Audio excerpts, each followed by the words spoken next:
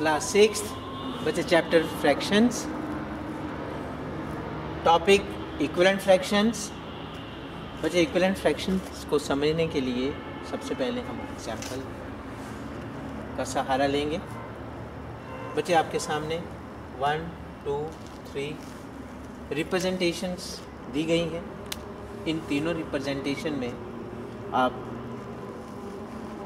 ये देखें कि ये जो होल का आपने इधर भी हाफ़ पोर्शन लिया हुआ है, इसमें भी हाफ़ पोर्शन लिया गया है और इसमें भी हाफ़ पोर्शन लिया गया है। सिर्फ़ और सिर्फ़ फ़र्क क्या आ रहा है? इधर हाफ़ पोर्शन का एक ही पार्ट है, इधर हाफ़ पोर्शन के दो पार्ट हो गए हैं, इधर हाफ़ पोर्शन के तीन इक्वल पार्ट हो गए तो इक्वलेंट फ्रैक्शन जो है, इसे समझना है बच्चे कि इक्वलेंट फ्रैक्शंस क्या होती हैं। तीस फ्रैक्शन ये ऐसी फ्रैक्शंस होती हैं, जैसे आपकी इस रिप्रेजेंटेशन में, पहली रिप्रेजेंटेशन की फ्रैक्शन है one by two second representation की जो है फ्रैक्शन टू बाई फोर और थर्ड जो है रिप्रेजेंटेशन की फ्रैक्शन जो है, वो थ्री बाई सिक्स है।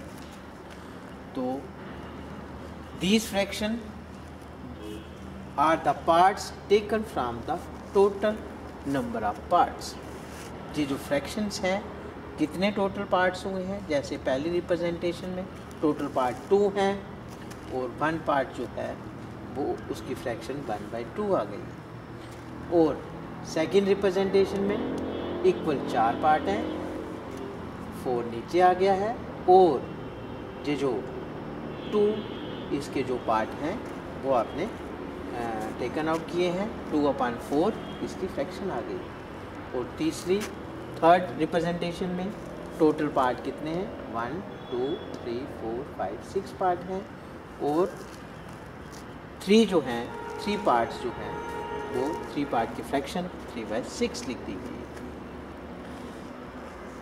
ये सारे, ये जो one by two two by four three by six जो हैं ये parts taken from the total number of part में से ली गई हैं।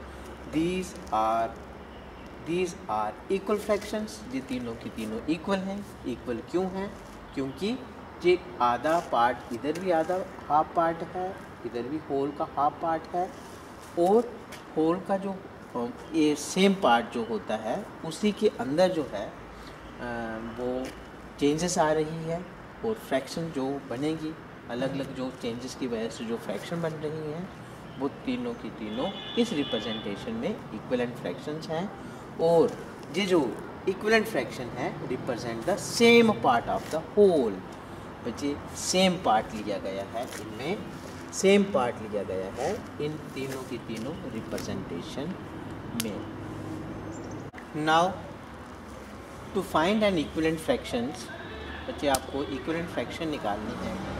जब आपको गिवन फ्रैक्शन दिया गया है, उसकी हेल्प से आपको जब भी इक्वलेंट फ्रैक्शंस निकालने के लिए कहा जाए तो मल्टीप्लाई करना है न्यूमिनेटर पार्ट को भी और द डिनोमिनेटर पार्ट को भी, जो आपको गिवन फ्रैक्शन दी गई है, उसको, उसमें न्यूमिनेटर पार्ट को भी और डिनोमिनेटर पार्ट को भी सेम नंबर के साथ बच्चे जब आप मल्टीप्लाई करोगे सेम नंबर के साथ जब आप मल्टीप्लाई करोगे और जो आगे जो न्यू फ्रैक्शन आएगी, वो इक्वलेंट फ्रैक्शन होगी। फॉर एग्जांपल हमें कहा गया है write equivalent fraction of one by three आपके पास फ्रैक्शन है गिवन वन बाई थ्री और वन बाई थ्री की इक्वलेंट फ्रैक्शन के लिए आपने क्या करना है? सेम नंबर के साथ न्यूमिनेटर को भी मल्टीप्लाई करना है। और डिनोमिनेटर के साथ भी मल्टीप्लाई करना है। तो two the two three two the six ये जो फ्रैक्शन आई है टू बाई सिक्स ये इक्वलेंट फ्रैक्शन है वन बाई थ्री के। Next one by three one by three same number के साथ मल्टीप्लाई ऊपर भी और सेम नंबर के साथ नीचे भी। थ्री वन ज थ्री थ्री थ्री ज नाइन ये जो फ्रैक्शन थ्री बाई नाइन है, ये इक्वलेंट है वन बाई थ्री के और वन बाई थ्री इक्वलेंट है टू बाई सिक्स के। तो अब वन बाई थ्री के दो इक्वलेंट फ्रैक्शन जो हैं, आपने फाइंड आउट कर लिए। तो बच्चे, इस तरह से आपको इक्वलेंट फ्रैक्शन जो है, एक गिवन दी गई फ्रैक्शन में से ही आपने इक्वलेंट फ्रैक्शन निकालनी हो।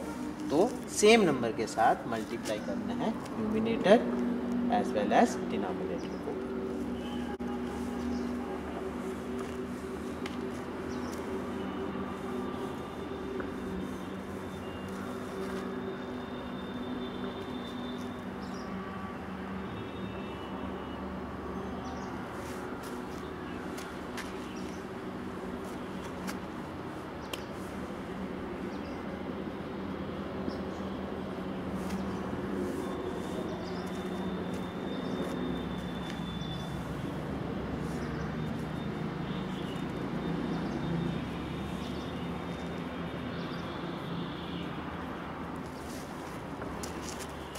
again to find an equivalent fraction equivalent fraction को फाइंड आउट करने के लिए आपको जो गिवन फ्रैक्शन दी गई है, वहाँ से आपको इक्वलेंट फ्रैक्शन फाइंड आउट करने के लिए आप डिवाइड करेंगे बोथ न्यूमिनेटर एंड डिनोमिनेटर को गिवन फ्रैक्शन को with the same number same number के साथ जब आप डिवाइड करते हो numerator as well as denominator तो जो न्यू फ्रैक्शन आती है, वो इक्वलेंट फ्रैक्शन आती है गिवन फ्रैक्शन के।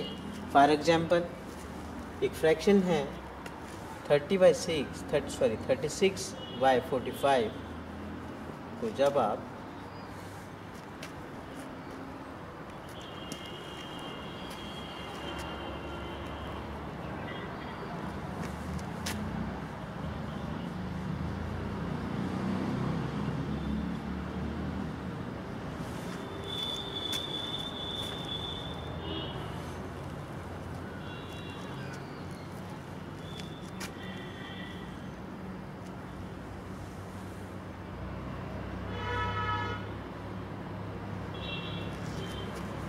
बच्चे, ध्यान से देखो। आपके पास जो गिवन फ्रैक्शन है thirty six by forty five इस फ्रैक्शन को आपने सेम नंबर के साथ डिवाइड कर रही हो। वो नाइन नंबर है। जब आप डिवाइड करोगे थर्टी सिक्स को नाइन के साथ नाइन फोर जा थर्टी सिक्स होता है, और नाइन को जब आप फोर्टी फाइव के साथ डिवाइड करोगे तो नाइन फाइव ज़ार फोर्टी फाइव तो ये जो फ्रैक्शन है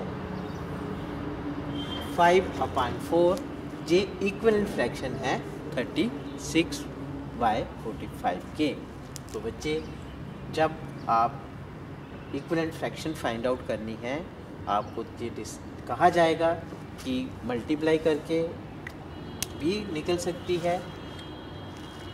आपकी इक्वलेंट फ्रैक्शन और डिवाइड करके भी आप इक्वलेंट फ्रैक्शंस को फाइंड आउट कर सकते हो।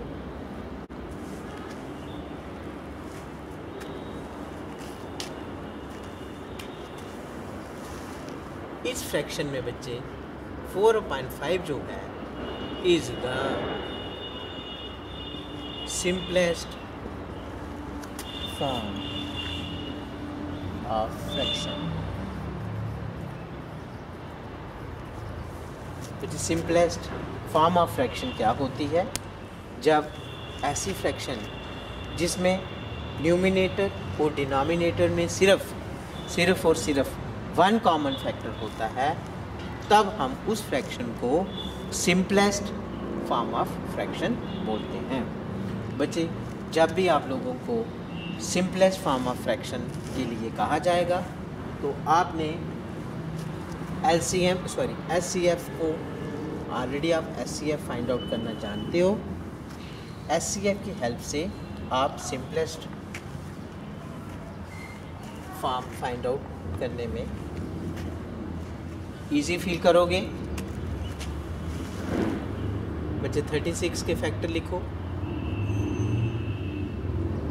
थर्टी सिक्स के factor one two three four six nine forty five के फैक्टर लिखो बच्चे। वन थ्री फाइव नाइन अब common highest common factor highest common factor इन दोनों में of thirty six and forty five इन दोनों में हाईएस्ट कॉमन फैक्टर जो है, वो नाइन है। तो देखो, जब आप कोई भी फ्रैक्शन आपको दी गई होगी न्यूमिनेटर और डिनोमिनेटर का जब आप S C F find out करोगे, उसी एस सी एफ़ से जब आप डिवाइड करोगे, उसी एस सी एफ़ से जब आप डिवाइड करते हो तो बच्चे, जो फ्रैक्शन आती है वो आपकी simplest form of fraction find out हो जाती है। तो आपने ये देखा कि जब भी आपको कहा जाएगा simplest form of fraction to find out simplest form of fraction तो आपने जो गिवन में नंबर न्यूमिनेटर और डिनोमिनेटर में होंगे, उनका ऐसे आप निकाल लें फिर उसी नंबर से आपने डिवाइड कर देना बच्चे, जो exercise five sorry seven point three है इसके question number one two question number nine all question are based on the equivalent fractions concept यदि किसी भी बच्चे को कोई भी प्रॉब्लम आती है तो बच्चे, आप लोगों ने उस प्रॉब्लम को सॉल्व करने के लिए आपने five two five thirty PM में कॉल करके उस उस प्रॉब्लम को हल, उसका हल ढूंढना है मेरे से। और बच्चे, इसका होमवर्क जो है इस एक्सरसाइज का होमवर्क कंप्लीट करके बच्चे होमवर्क भेजो। थैंक यू बच्चों